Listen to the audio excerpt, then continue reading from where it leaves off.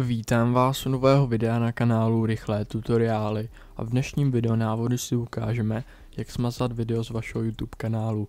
Takže si otevřeme aplikaci YouTube, zde půjdeme do ikonky vašeho kanálu a tady dáme můj kanál. Tak a tady půjdeme do sekce videa a zde vlastně budeme mít veškerá nahraná videa na našem kanálu. Zde stačí na video, které chceme smazat a zde dát tři tečky a tady dát smazat, smazat.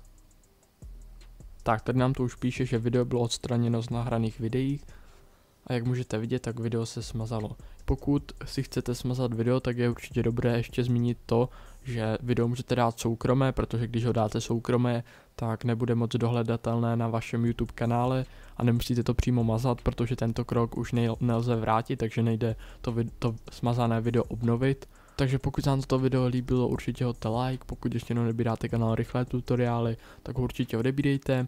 Pokud máte nějaký dotaz ohledně mazání videa na YouTube, tak ho napište do komentáře, pokud budu vědět odpověď na váš problém, tak vám určitě odpovím. No a my se uvidíme někdy u dalšího videa, mějte se a nashledanou.